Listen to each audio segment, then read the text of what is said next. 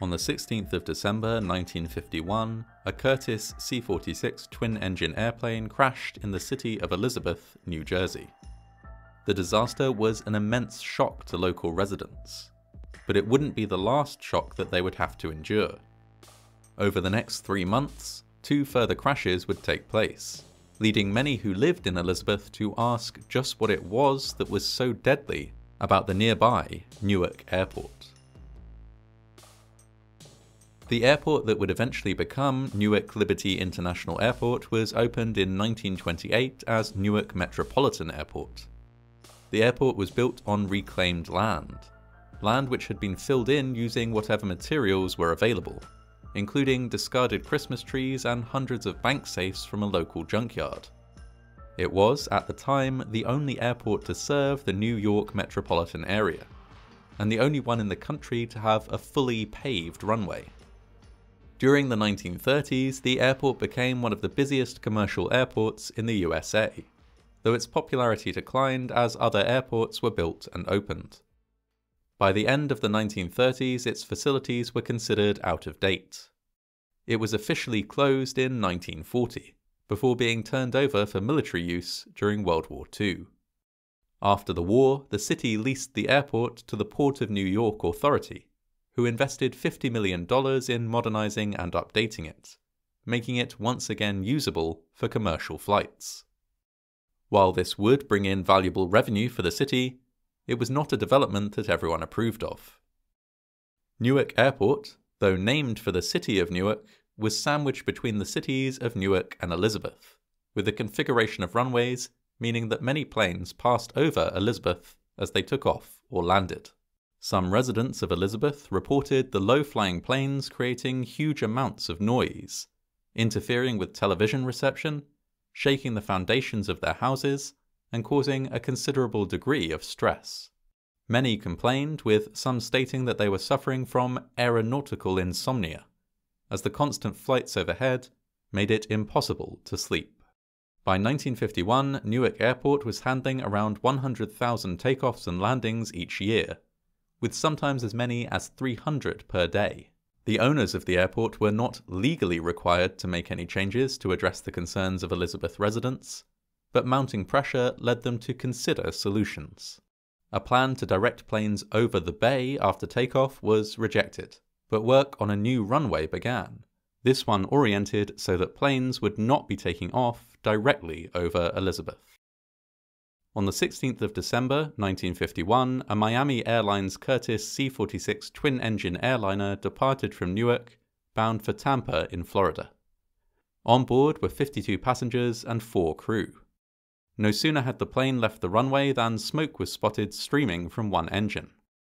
Air traffic controllers immediately cleared the plane to land again, telling the pilot that he had permission to land anywhere that he could, any way that he could. As the smoking engine burst into flames, the pilot in question, 30 year old Albert Lyons, struggled to keep the plane airborne, let alone negotiate a landing. As it soared over Elizabeth, he did manage to steer it away from several apartment buildings. The plane clipped one unoccupied home and then crashed into a disused water pumping station, exploding on impact. Witnesses would later remark that the pilot had managed to bring the plane down in the only place in the area which wasn't densely populated. As a result, only one person on the ground suffered any injuries. Firefighters rushed to the scene, but there was no chance to retrieve anyone from the wreckage alive. They brought the fire under control, struggling with frozen hoses in the icy weather, and began retrieving 56 bodies from the crash site. Due to the severity of the impact and the subsequent fire, several local dentists would report to the morgue to help identify victims in the days that followed. An investigation by the Civil Aeronautics Board, completed in the weeks after the crash, determined that the accident had been caused by the failure of studs holding together part of the engine. The failure of the studs led to engine damage, which led to a fire, which led to a drop in engine power and a loss of control of the aircraft. On the 22nd of January 1952, American Airlines Flight 6780, a Convair CV 240, was on its way from Syracuse to Newark, with 20 passengers and 3 crew members on board. It was a foggy day, and due to the low visibility, the captain, 33 year old Thomas Reed, was preparing to make an instruments only landing at Newark. At 3:45 p.m., flight 6780 disappeared unexpectedly from radar screens and simultaneously stopped answering radio calls. Witnesses on the ground saw the plane emerge from a bank of fog at a height that seemed far too low. It skimmed over the top of houses, clipped one, smashed straight through the upper floor of another, and crashed directly into a third, exploding into a ball of flame. Burning debris was thrown into the surrounding houses.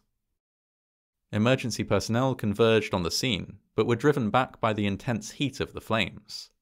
Only once these were under control could they begin the process of rescuing the wounded from the wreckage and retrieving the bodies of the dead an operation complicated by the damp weather and the muddy and disrupted state of the ground around the crash site.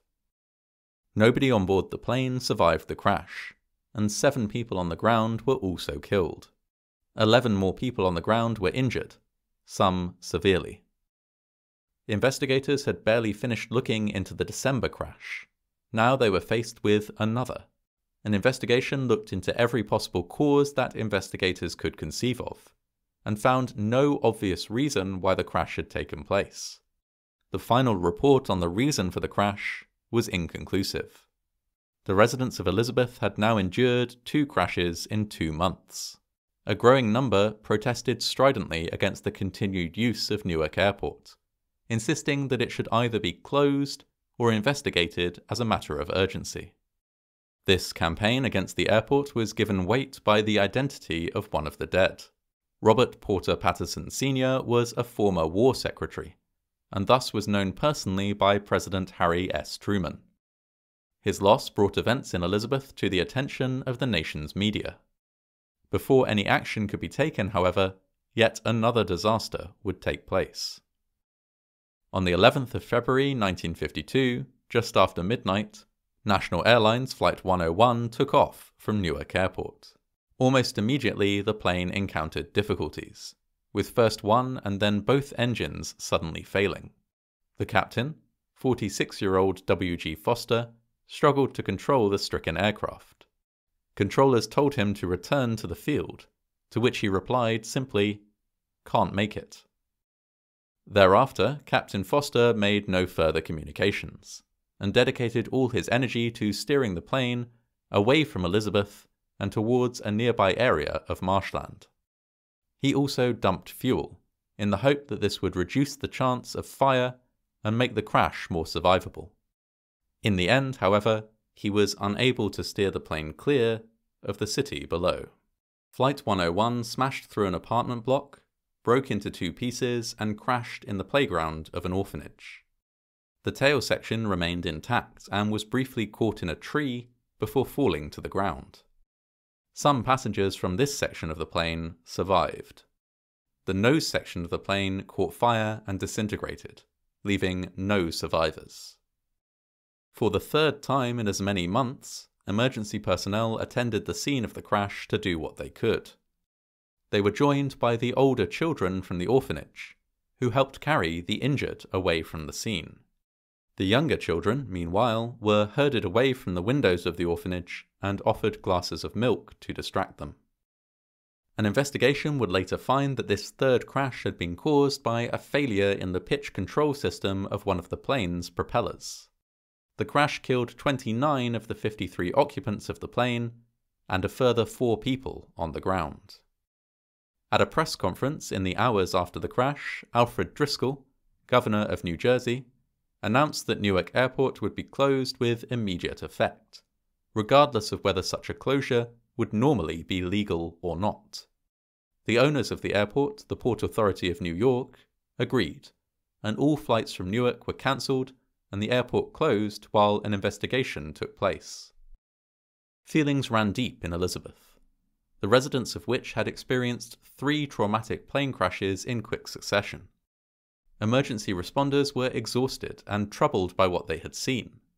Homes had been destroyed, children had lost parents, families had been devastated, and many residents now lived in a state of nervous tension, awaiting a fourth crash that seemed, at the time, almost inevitable. A thorough investigation, however, revealed that there was nothing specific about Newark Airport that had contributed to the crashes. It appeared to be pure coincidence that so many planes had crashed in such quick succession. There was no provable reason to permanently close or relocate the airport. Despite this finding, some changes were made before Newark Airport was reopened on the 15th of November 1952. The state of New York mandated that, Wherever possible, takeoffs and landings should take place over water rather than over populated areas. President Harry Truman ordered an inquiry, as a result of which zoning laws were introduced to prevent hospitals, schools, and similar high capacity buildings being built in areas where planes were likely to be taking off or landing. In the years since 1952, there have been no further plane crashes directly over Elizabeth the sequence of impossibly unlikely events that struck the city in the winter of that year has not repeated itself. All the same, many people who live in Elizabeth still remember the time, many years ago now, when three plane crashes in three months devastated their community.